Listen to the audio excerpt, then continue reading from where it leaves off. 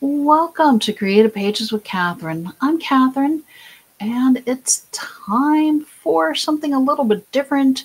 On March 17th, I answered a viewer's question on how to cut some diamonds with purpose so that way you could reuse the scraps. And it's taken me a little bit to get back to it, but I'm going to give you an idea of how to use some of the scraps from cutting those diamonds with our What a Zoo Too collection. So let me explain once I get everything switched over.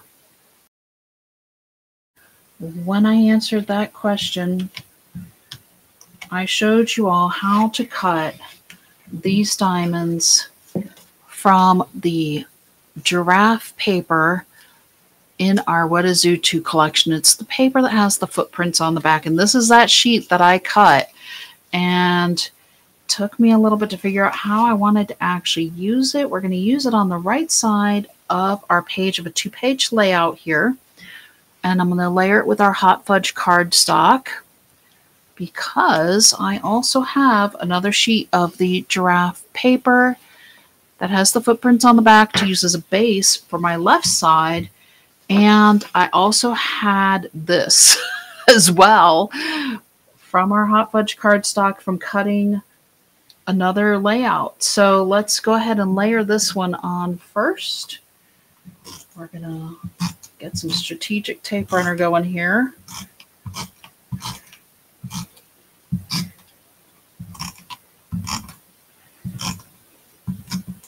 And I think this one might have been from doing some of my tulips possibly.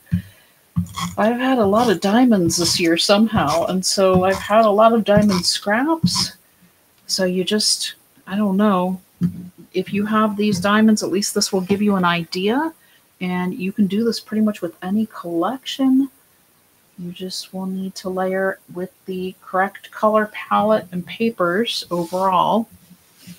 And by bringing back in the hot fudge and the giraffe on the right side, it does help to reinforce the color palette, reinforce some of the patterns, and just make things a little bit more cohesive, even though we're working with all of these diamond cutouts, negative spaces as well. Okay, so these are two I cut from the other side of the page, giraffe footprints. So it works out perfectly. We are going to actually layer these two in here to create another space through the middle of our page with some diamonds, but it also is a different size. And so it gives your eye a something different, a different dimension to look at as well. And we're going to go ahead and let this flow through the middle of this diamond here. So I'm kind of lining up as I'm going over and also lining through the middle here. And I am eyeballing it. You can pull out your zero centering ruler. I know I've done that for other videos as well. I This one I'm going to eyeball. So just to show you guys, you can do it both ways. They're your pages.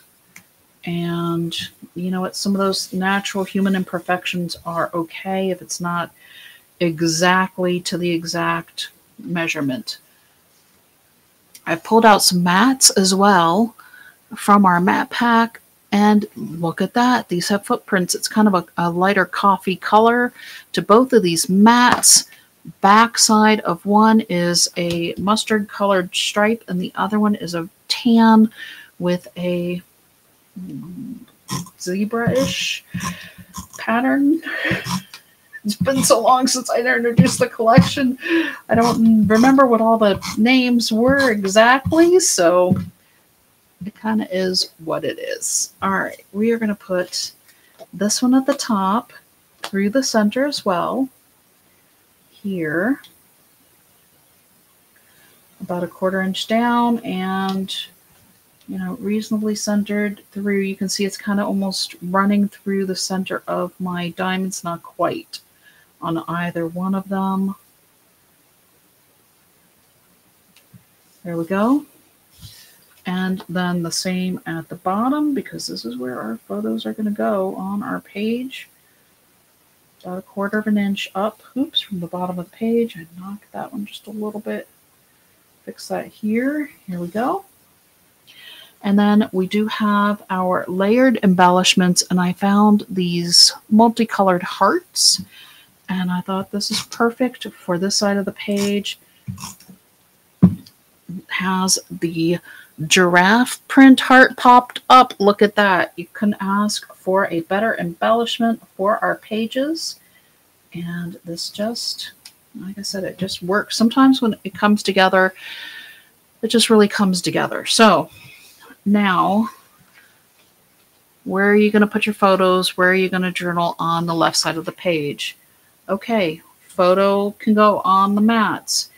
If you want, you can put a smaller photo here. You can journal here. You can journal on your footprints if you want.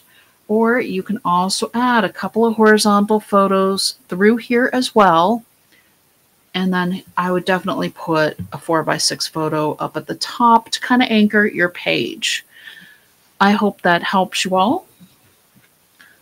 Left side is done. Look at that. It did come together, didn't it?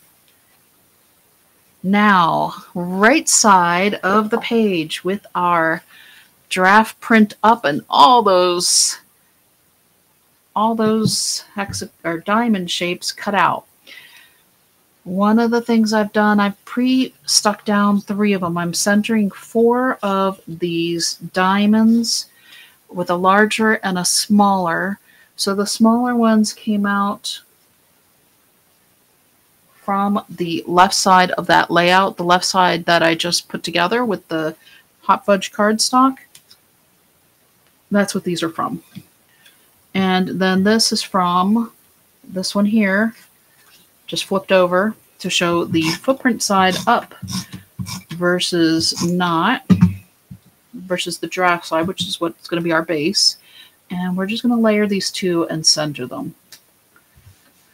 We now have four of these ready to go. These are going to go in our four corners. But first, I want to go ahead and stick this down onto our page, flip it over. Again, a little more strategic with our tape runner here. Because there's really only certain points that you can put it in. Here's one right in the middle. And, oops. We go oh, don't know. Sometimes those things just happen where things get tucked under and you don't realize. And there, are we set? I think I've got it all. Okay, and I do want my diamonds to be running more horizontal. Not that it matters because we could just turn the page. Let's get that lined up on our cardstock nicely here. Sometimes you need to use a little gravity, just like we do with our cards. There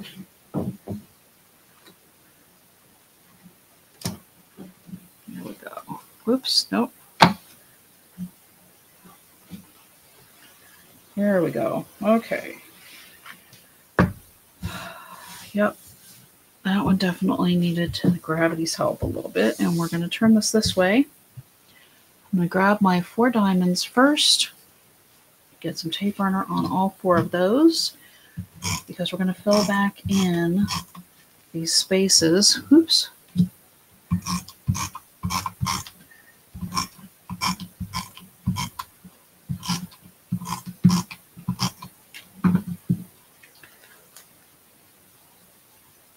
Okay, here we go. So there's that one. and it literally just pops right in because it's the right correct size of what we cut out of this paper. Just going back into place here. And then of course we still have the four in the center but that's okay because we're again we're drawing back in the the the color palette the patterns the hot fudge and it's all good. Now i found this really cute giraffe or a giraffe.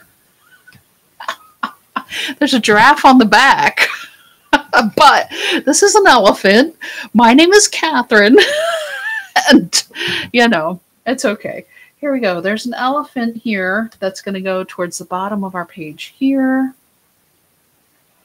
And I just loved again that it matched our patterns, matched our colors. Our designers are so thoughtful. I just so appreciate them. And then I have two other mats that have the giraffe print on them. And the back side, so the back side of this one does match our 4x6 mat. It's that really dark speckled look. And this one is more of a gray tone diagonal line. Flip everything over. There's that giraffe. and palm trees. I don't know. My trop I have a tropic time one with palm trees. I don't know if it's out yet or not. I filmed it. Maybe it's out. I'll just have to I don't know what order these things are coming out sometimes, but I'm filming several videos for while I am moving and I've just got to figure out a release schedule here coming up, but maybe you've seen the Tropic Time one with the palm trees and maybe you haven't. If you haven't, it'll give you something to look forward to because that one was kind of fun. But right now we've got our zoo one with our elephant. That's also kind of fun. Let's see here.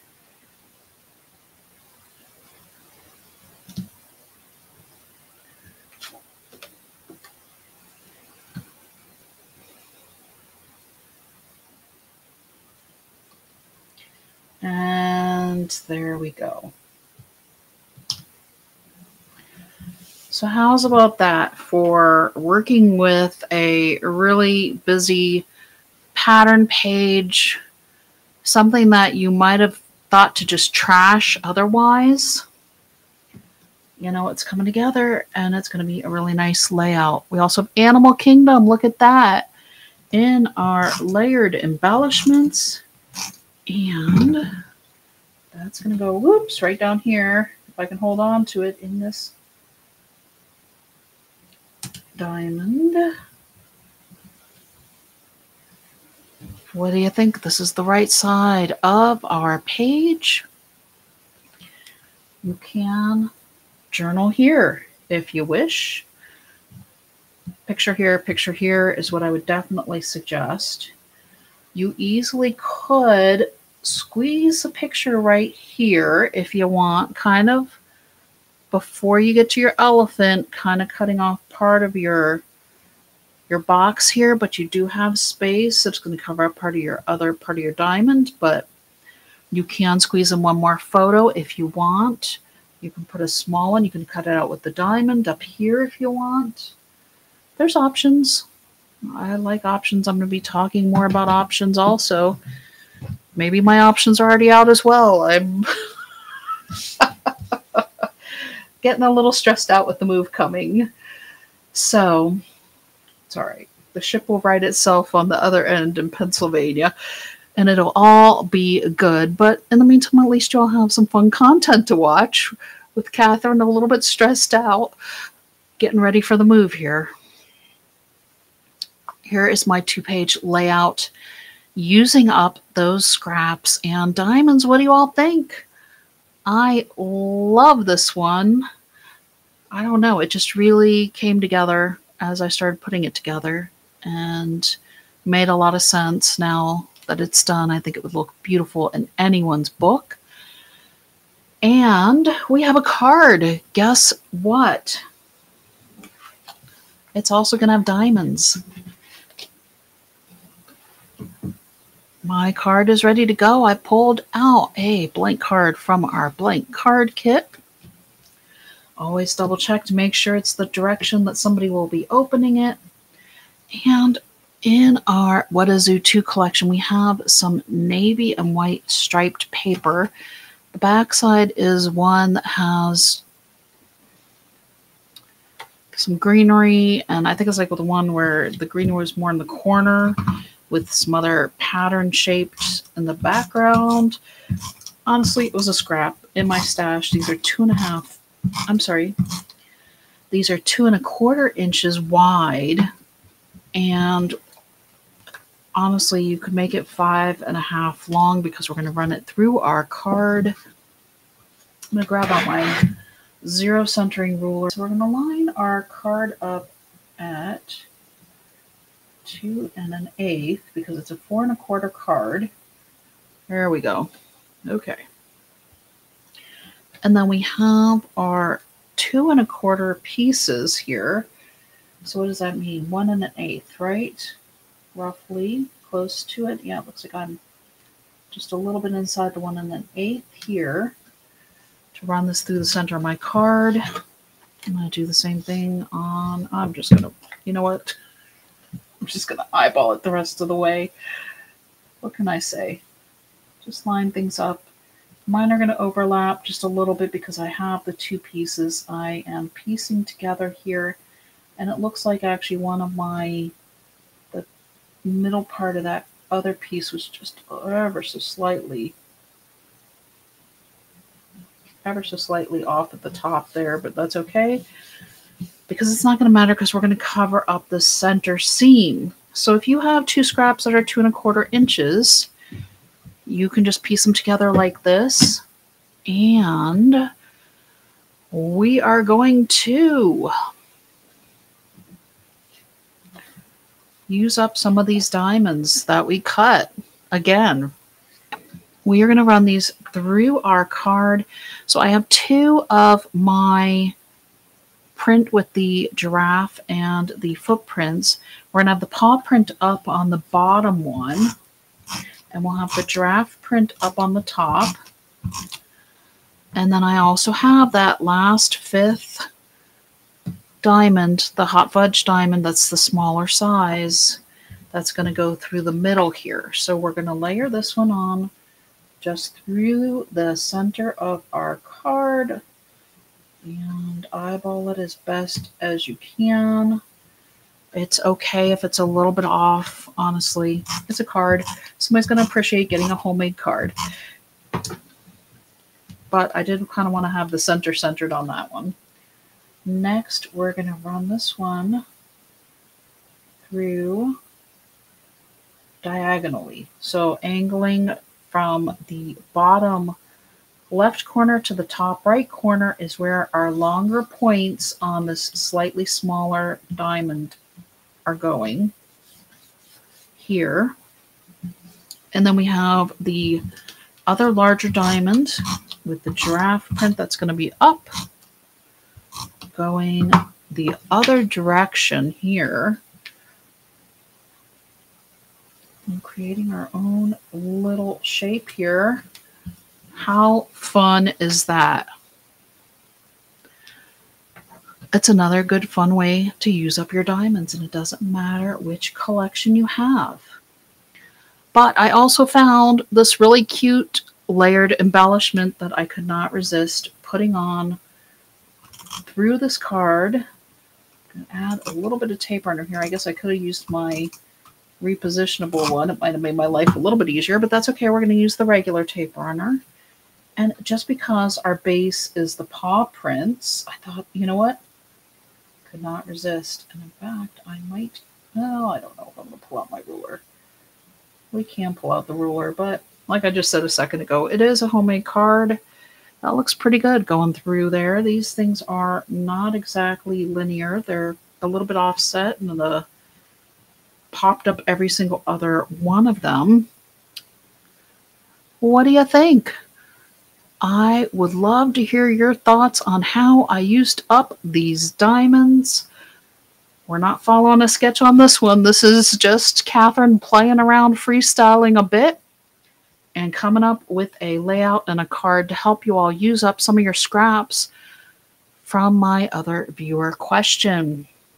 And I love it when you all have questions for me. So if anybody has a question, don't be shy about leaving them in the comments of any of my videos for me. If there's something I don't explain as well, or if I am just freestyling and there's just a little something that you just don't get, I am happy to re explain it, or even if it means I need to film a short or can't type it out, I'm perfectly happy to do that for you all. Okay, that is it. Until next time.